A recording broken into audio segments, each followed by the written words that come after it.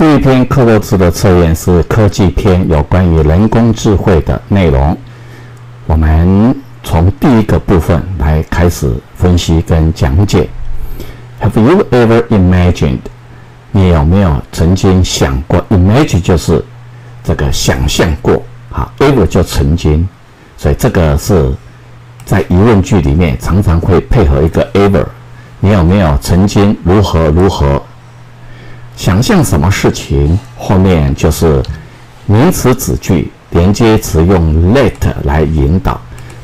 动词后面的句子，我们称为名词子句，做 imagine 的这个受词，也就是想象的内容，就是在后面。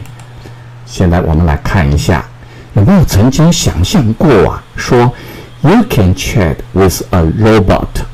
你可以跟一个机器人聊天，chat with 就是跟什么聊天，instead of，而不是，或者是翻成取代、代替 a real person，一个真正的人。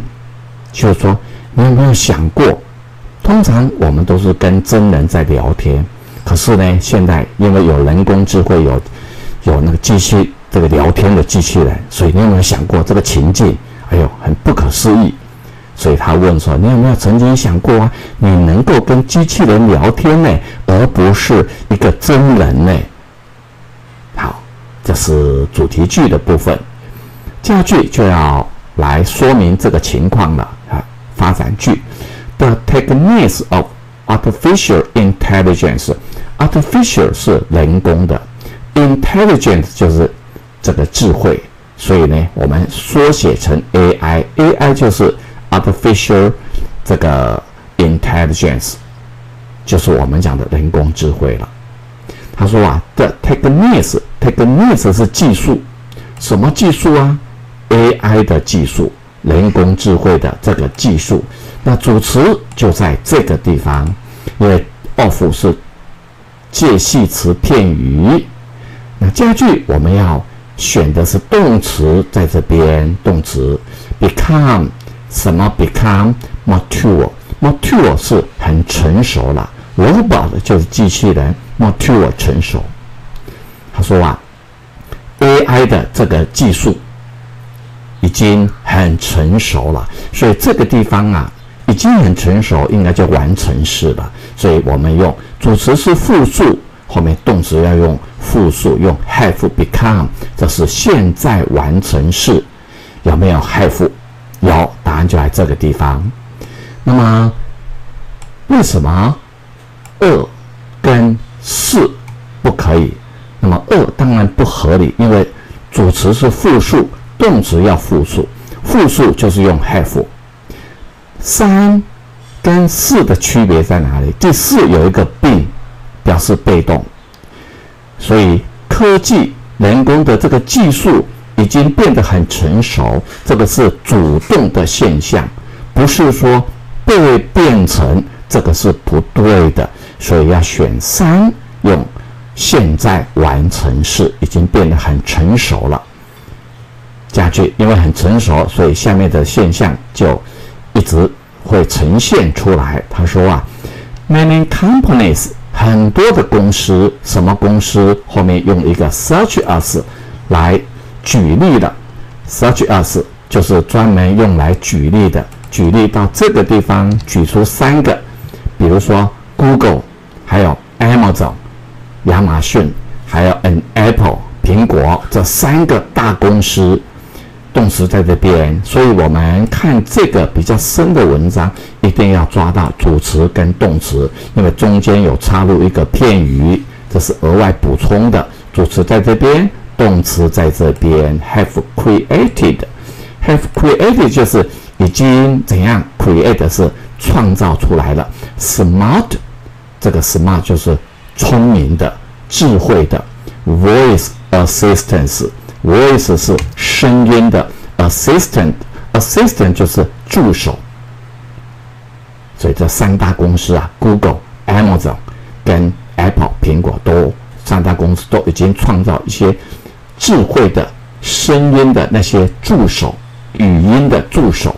好啦，那么语音的助手也不清楚是什什么内容，因此在英文的表达上面呢，马上不清楚的地方就会添加关系子句，用 let 摆在名词后面，这个句子我们称为关系子句。那么目的就是要来补充说明前面的名词。那摆在动词后面的 let 子句，我们称为名词子句，做受词来说明你想象的那些事情、想象的内容等等。那这个是关系子句来补充说明什么叫语音的助手。好，这个 let 子句一直哦蛮长的哦，一直到这边才结束。所以我们来慢慢的看。那这种智慧型的语音的助手呢？好，let 就是来代替这些语音的助手。这些语音的助手 can understand。所以呢，你如果是用 Apple 手机，它会有一个 Siri，你讲话大声一点，它就会回答你有什么事吗？要要我帮忙吗？这就是语音的助手，他们可以 understand what you say，可以了解到。What you say 就是你所说的话，他们了解。再来第二个，search for answers，他们也会搜寻这个答案、解答。什么答案？什么解答？To your question，对于你的疑问，对于你的问题的答案，他会搜寻。比如说，在 Apple 的。这个手机里面，你如果要找某某人，你只要跟他讲名字，他马上就会帮你找他的那个手机的号码。那这第二个，第三个，and complete some task，并且第三个会完成一些任务、一些工作。什么任务？什么工作？它是根据按是依据，根据你的 instruction，根据。你的这个指令，根据你的指示来完成任务。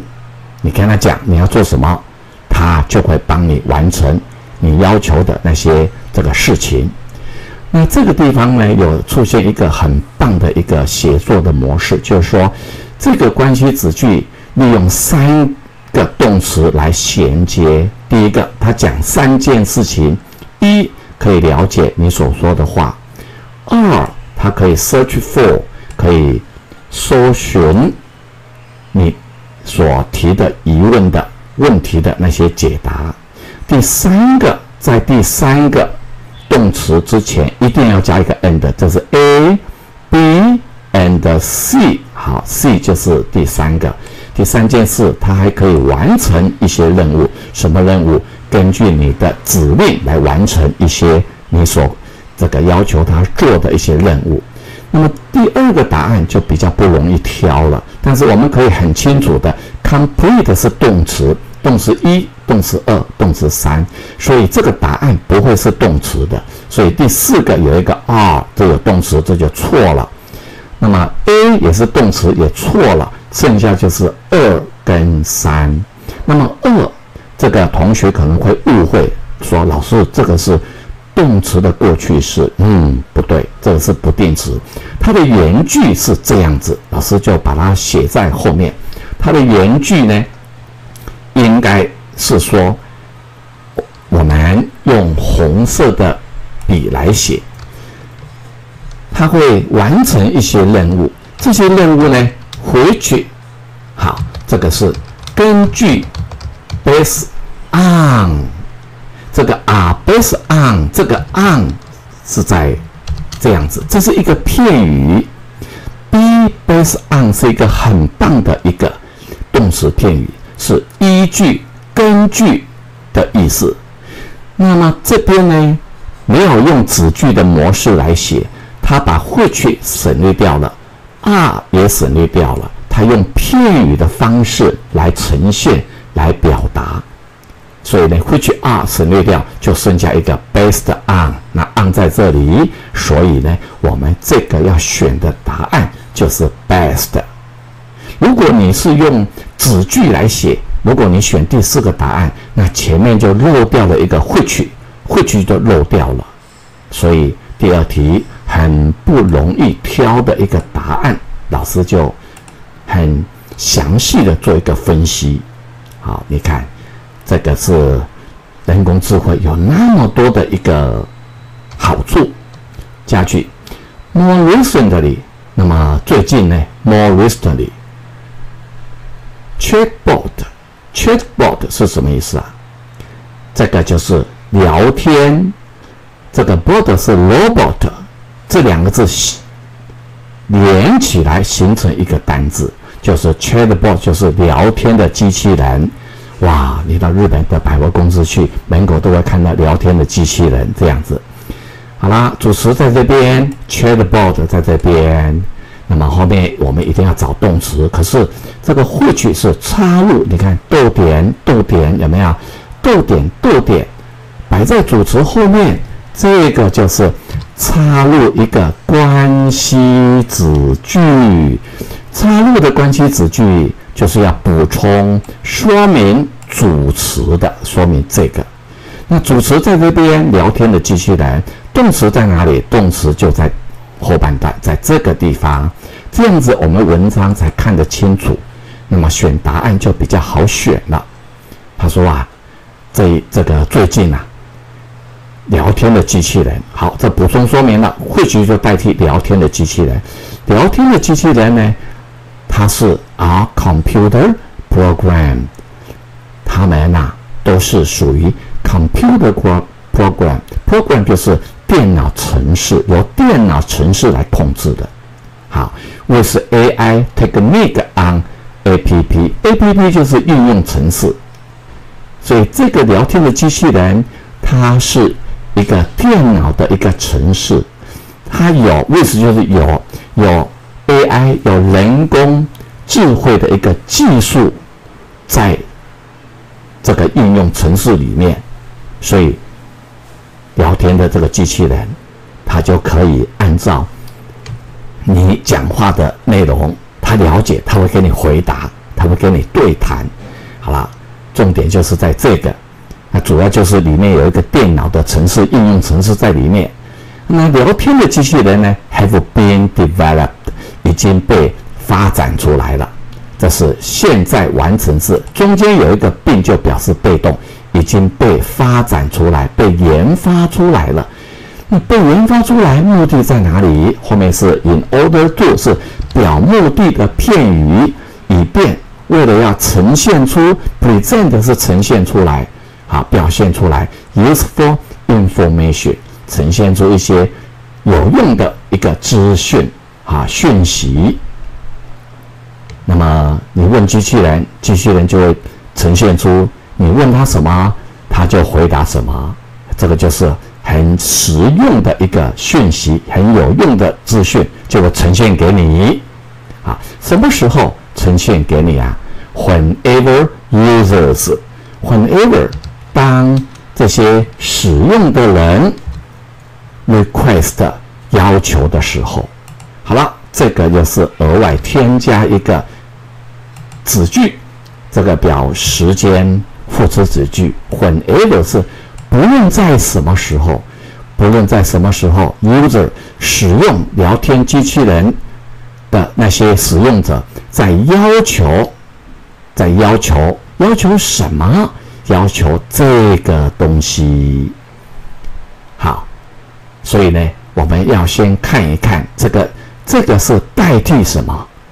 当使用的人要求一些讯息，比如说你跟机器人讲说：“机器人，请你告诉我厕所在哪里。”哎，他听懂，他就跟你讲：“请你往前走，然后左转。”他会告诉你。所以这个需要求什么？要求资讯，要求讯息。所以这个是代替前面的 useful information。